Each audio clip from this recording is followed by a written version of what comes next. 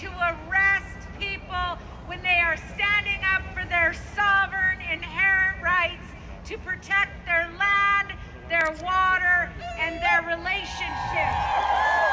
Because without land defenders like the Wet'suwet'en and many other land defenders across so-called Canada and across the globe, the biodiversity that is within our lands and territories would not be protected. And right now, that's 80% of the world's biodiversity. It is because of us, because of our rights, because of our culture, because of our identities as Indigenous people that those lands are protected. And it's the colonial project and the corporations that continue to get in the way. Enough is enough.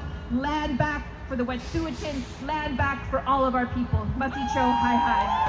Gathering and protesting is not enough.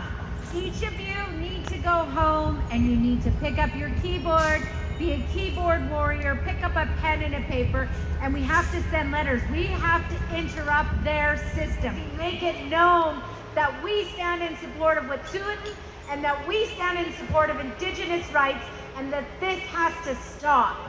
Pick up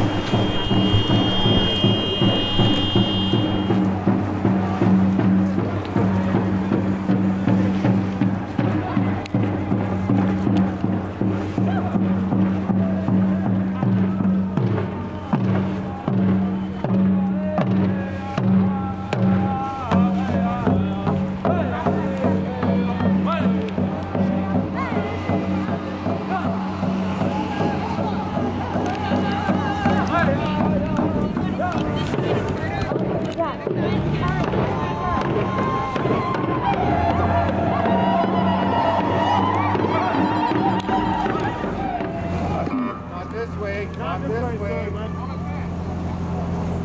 You're gonna want to leave your lights on.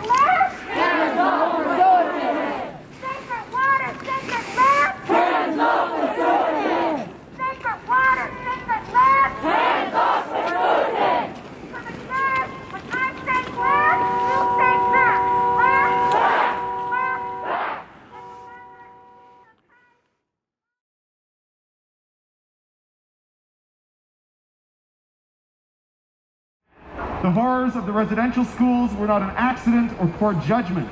They were a deliberate campaign to eradicate Indigenous people and make their lands available to the colonial project. Many of Canada's most recognizable institutions, such as the RCMP, were created for the express purpose of removing Indigenous people from their land. These atrocities continue to this day, both in their impacts and in modern violations of Indigenous sovereignty from coast to coast to coast.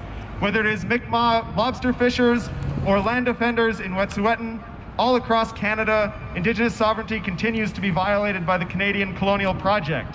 It did not end, it has not ended, and it must be stopped. In acknowledging the lands on which we stand, the people who lived on them, and the history of how they came to be incorporated into Canada, we do so with the solemn intent that these lands be returned.